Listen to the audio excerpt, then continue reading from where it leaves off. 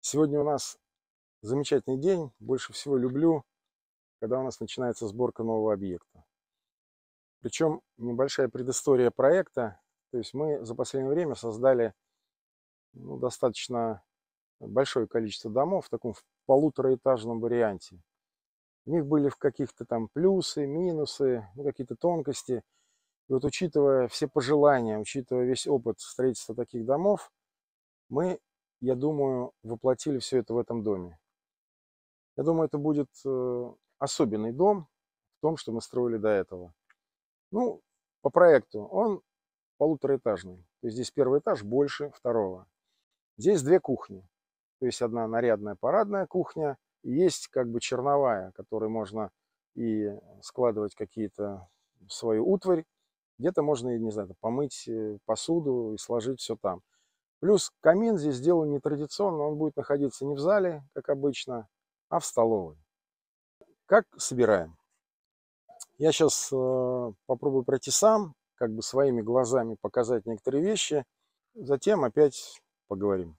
Ну, во-первых, знаете, я не очень понимаю подкладочных досок. Не знаю, зачем это делается, потом отливы делаются. Хотя весь современный деревянно-строительный мир делает вот как сделали мы.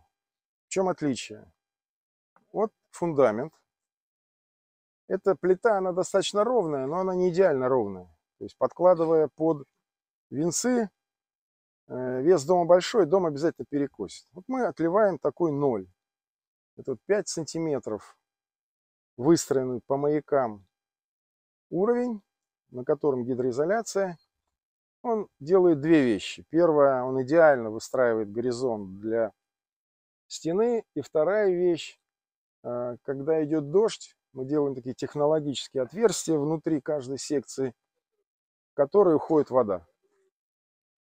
Мы их покажем. Из фундамента выходят закладные, выходит канализация. Вот. И самое главное, брус слегка нависает над фундаментом. Вот как здесь. Со всех сторон. Что это дает? То есть, когда мы смонтируем отделку цокольного этажа, вода должна, попадая на стены, просто капля срываться и стекать. И тогда никакие излиственницы, отливы будут не нужны. То есть будет работать природа. Затем замок. Вот видите, он такой. Как брус, в зависимости от влажности, ну, он не бывает идеально калиброван. Где-то миллиметр, где-то больше. Чтобы он собрался в этом замке, обычно делают большие зазоры. Эти зазоры, во-первых, некрасиво, во-вторых, через них потом продувается. Мы сделали такую фаску, делается с двух сторон. С одной стороны замка и с другой стороны замка. И брус собирается, и нет щелей вообще. Вот если посмотреть, вот это внимательно, смотреть, при сборке щели отсутствуют. Если фаску эту не сделать, то он просто не соберется. Тогда придется делать большие зазоры, и будет видно эти зазоры. Ну и плюс мы применяем из такие специальные пластины, это псул. Он потом расширится и перекроет в двух направлениях, так и так, перекроет внутренний паз, потому что все эти вещи, касаемые пены и прочее, нам кажется, работают не так. Для этого сделаны, видите, два таких пазика. Вот он сейчас стоит в состоянии, назовем так, покоя, а потом он внутри расширится. Потому что когда работает вентиляция, всегда через все щели воздух подсасывается, продувается идет холод в дом. В данном контексте этого не происходит. Это самый важный венец, то есть собрать первый ряд, это там, если неправильно соберешь, дальше пойдет, все ошибки пойдут вверх. Если правильно, то дальше будет легче. Вот мы входим в дом. Очень люблю вот это начало, по той причине, что всегда дом растет, смотришь, в конечном итоге получается здание. Вот они такие небольшие отверстия, вот, видите. Там в грунт уходит вода, вот они везде есть. И она не поднимается выше, чем вот этот ноль, который был сделан. Снизу также приклеивается под нулевой венец, приклеивается псул. Вот ребята несут. Вот видите, да? Вот он. Вот он как раз сделает герметичным между гидроизоляцией и краем. Не надо никакой пены. Мало того, он будет всегда расширяться, сужаться. То есть он не статичен его поставят, и будет все норм. Вот мы уже собираем так не один десяток домов, и эксплуатация показала, что эта технология дает определенные результаты, по крайней мере, по углу не продувается. Все закладные, которые необходимы для ввода коммуникации, для отвода, то есть канализации, они делаются внутри фундамента.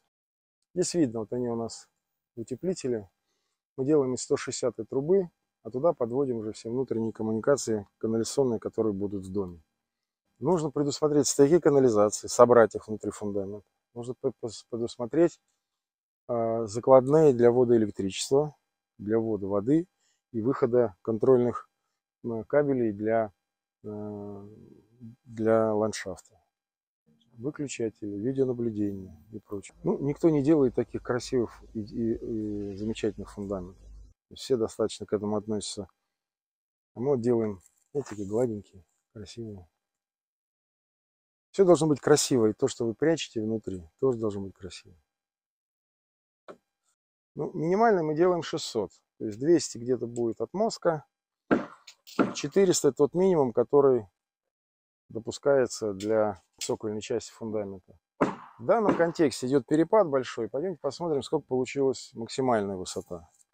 Вот метр тридцать пять. Здесь будет веранда, вот как раз в этом месте.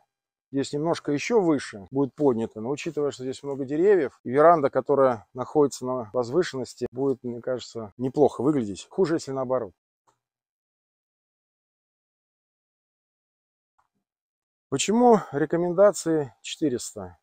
Высота снежного покрова, для того, чтобы она не дошла до бруса, и брус не начал портиться от влаги. Сегодня у нас 13 сентября. Мы начали новый проект. Интересный дом.